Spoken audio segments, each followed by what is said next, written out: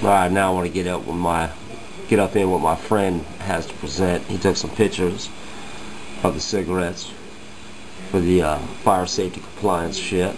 They call them speed bumps. Let me read this here. Photos are of a normal non-FSC cigarette and an FSC. Under normal lighting conditions, the difference is unremarkable. Both look nearly identical aside from the printed logo on the FSC. It seems as though the ink is bled or did not adhere to, properly to betray the paper.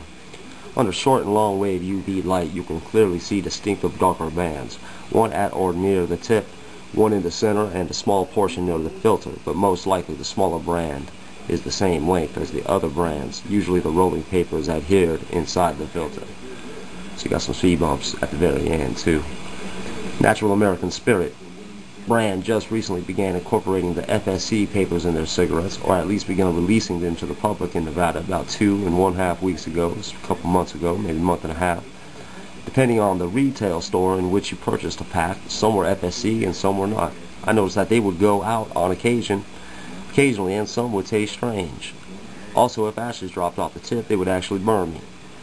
I have been smoking this brand loyally for many, many years, and it quite irks me that the specific company continues to state that they offer an organically natural product. Maybe it's just me, but I think that they should either stop using the ethylene vinyl acetate treated paper or just remove the word natural from the company's identity and marketing strategy altogether. Just be going for all these motherfuckers to be doing that too. Alright, a week ago they were all FSCs, a month or so. Unfortunately, I remembered a small smoke shop Fortunately, I remembered a small smoke shop, smoke shop that mistakenly purchased many cartons of soft packs. To my luck, they did. Huge difference in the taste, and my mental state afterward was not so clouded. The main reason why I smoked NAS Natural, what is it, Natural American Spirit, and paid the extra two bucks a pack was because the major brands of cigarettes began to make me sick after I smoked Natural American Spirits for a month or so straight. I could taste chemically altered tobacco. After that paradigm shift, I never looked back and only purchased the natural American spirit. It is outrageous that this chemical substance, which has not been tested, at least on record, by the direct inhalation of the particulate matter and fumes caused by the excessive heat. The most interesting revelation is that it has been vigorously tested in a myriad of applications and uses. After researching these, has led me to sense a darker and sinister conspiracy, a dark and sinister conspiracy. Its desired intention or nature is probably not in our best interest. In my opinion, this whole FSC thing is highly questionable and morally objectionable. Dig around. It doesn't take long.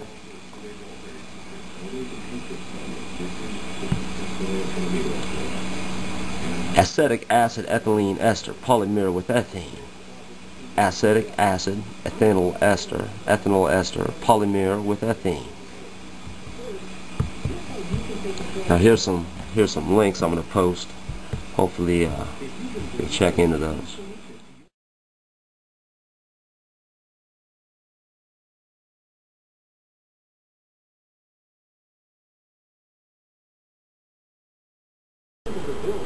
Alright, I want to get it get up into what Jeremy Narby's book and the and the resources has to say about tobacco, nicotine, and poison.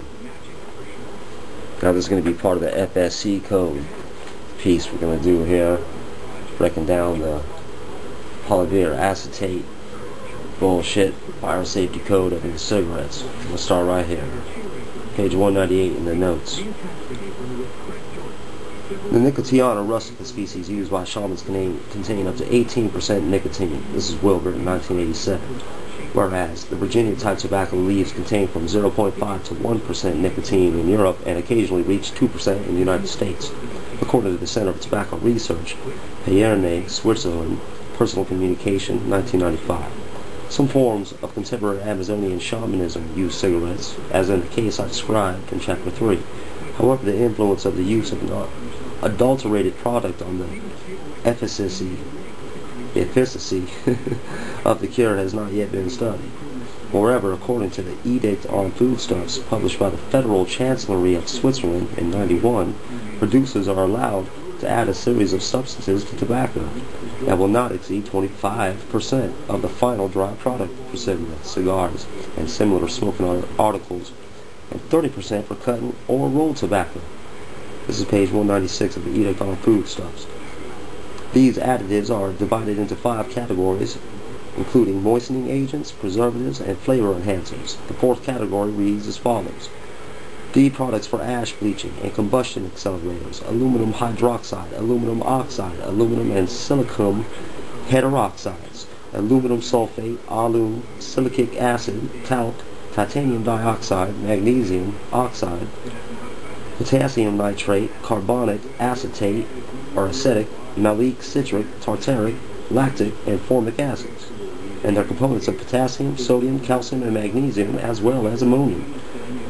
Potassium, calcium, magnesium, and sodium phosphates, the fifth category reads, adhesives, the jelly and thickening agent thickening agents of the edict of the 31st of October 79 on additives as well as pure black collodion, cellulose, ethyl cellulose, acetylcellulose, hydroxy ethyl cellulose, hydroxypropyl hydroxypropyl methyl cellulose, hydroxyethyl methyl cellulose, polyvinyl acetate, there we are right there, that's the new FSC shit, been around since 79 at least, polyvinyl acetate and glyoxal. Unfortunately, it is not possible to obtain the cigarette manufacturers the precise list of additives for each brand, given that the recipes for this food stuff are jealously guarded. Now here let's get into the part 6. Cigarettes emit 4,000 toxic substances according to the Switzerland's Federal Office of Public Health in 1994. Clausen and Wong in 93 write in their article on radiation in the Encyclopedia Britannica, the largest non-occupational radiation sources are tobacco smoke for smokers and indoor radon gas for the non-smoking population. So volume 25 by Martel in 82 writes in the letter published in the New England Journal of Medicine, Indoor radon decay products that pass from room air through burning cigarettes and the mainstream smoke are present in large, insoluble smoke particles that are selectively deposited at bifurcations. Thus, the smoker receives alpha radiation at bronchial bifurcations from three sources. From indoor radon progeny inhaled between cigarettes, from polonium-214 in mainstream smoke particles, and from polonium 210 that grows into lead-210, enriched particles that persist at bifurcations. I estimate that the cumulative alpha dose at the bifurcations of smokers who die of lung cancer is about 80 rad, 1600 REM, REM, a dose sufficient to induce to induce malignant transformation by alpha interactions with basal cells. This is page 310 by Evans in 93, writes in an article entitled Cigarette Smoke Equals Radiation Hazard. In one year, a smoker of one to two packs per day will irradiate portions of his or her bronchial epithelium with about 8 to 9 rem. This dose can be contrasted with that from a standard chest x-ray film of about 0.03 rem. Thus, the average smoker observes the equivalent of the dosages from 250 to 300 chest x-ray films per year. Strangely enough, the radioactivity of cigarette smoke is rarely mentioned in the majority of the articles dealing with the toxicity of this product. Abelin, in 93, who provides a list of the different forms of cancer provoked by cigarettes, also notes that low-tar cigarettes have a lower risk than normal cigarettes. However, up until now, a lowering of the risk of heart attacks or chronic lung disease among smokers of light cigarettes has not been noticed.